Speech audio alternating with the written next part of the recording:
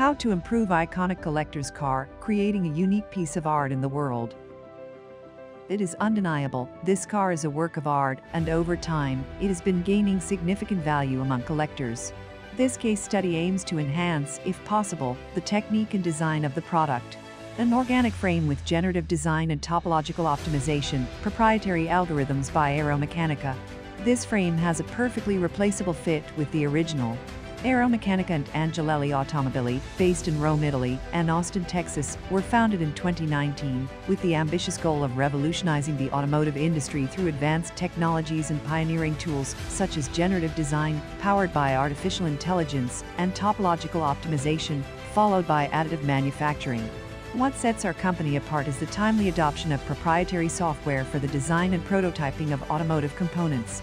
In particular, in 2018, we achieved a groundbreaking milestone by creating the world's first automotive frame using additive manufacturing technology.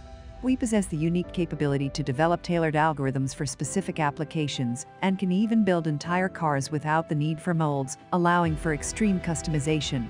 This capability is particularly valuable for luxury cars, limited production series, and unique creations. Designing components in carbon fiber, on the other hand, would require molds, extended processing times, skilled personnel, and the shape would be limited to a simple design.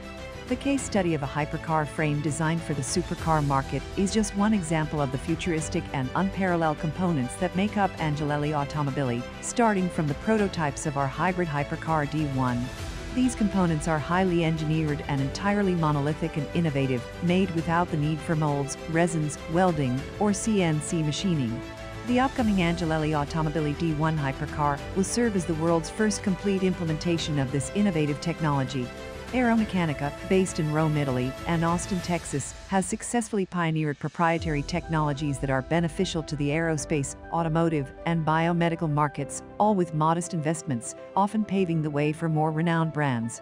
Companies interested in our innovations are encouraged to contact us and explore potential collaborations in their respective fields. Stay tuned for upcoming versions of related projects